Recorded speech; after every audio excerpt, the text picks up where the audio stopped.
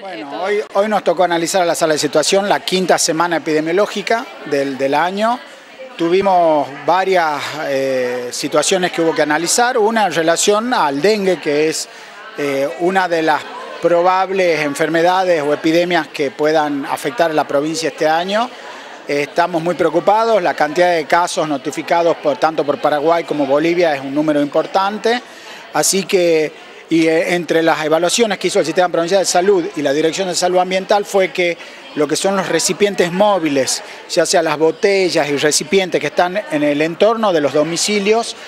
están triplicados con relación a la misma evaluación hecha el año pasado. Así que le pedimos a los tucumanos y les recordamos su responsabilidad de mantener su domicilio y su peridomicilio sin estos recipientes o con los recipientes dado vuelta, evitando que agua de lluvia se acumule y permita la reproducción del, mosquito que es el Aedes aegypti. Por otro lado, también hemos visto las situaciones, dos pacientes sospechosos de citacosis. La citacosis es una enfermedad respiratoria que se transmite a través de catas o cotorras enfermas, que estas en general las adquiere, la gente no, no sabe, ustedes saben que es eh, de comercio ilegal, esto no se puede adquirir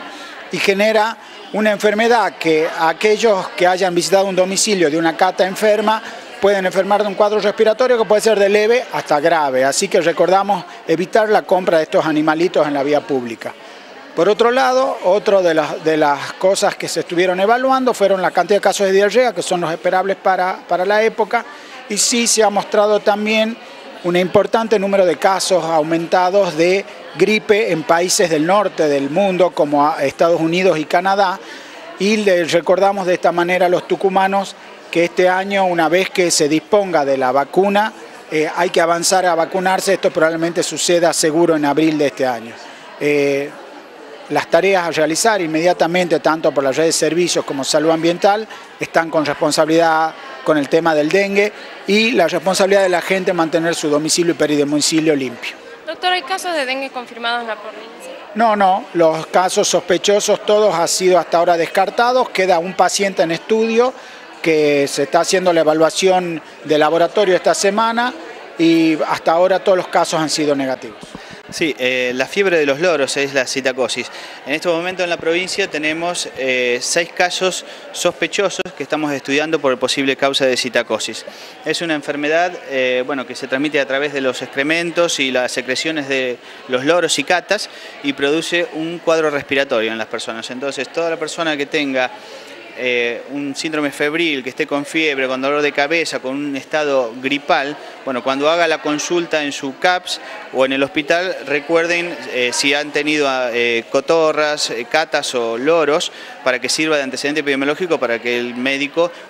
pueda orientarse. ¿no? Por eso no recomendamos la compra de estos animales en la vía pública que se venden, entonces la no compra bueno, va a ayudar a prevenir esta enfermedad. Los casos, ninguno todavía ha sido confirmado, estamos en estudio, hemos tomado muestra de algunos animales que también se han enviado al laboratorio para eh, la espera de los resultados. ¿Todas las aves eh, tienen este, este, Sí, principalmente son reservorios los loros habladores, eh, pero se pueden contagiar las catas también y cualquier otra ave, ya sea pequeñas como canarios, eh, jilgueros, eh, cardenales o cualquier ave que alguno tenga en su casa, se pueden contagiar. Los pavos también son muy susceptibles.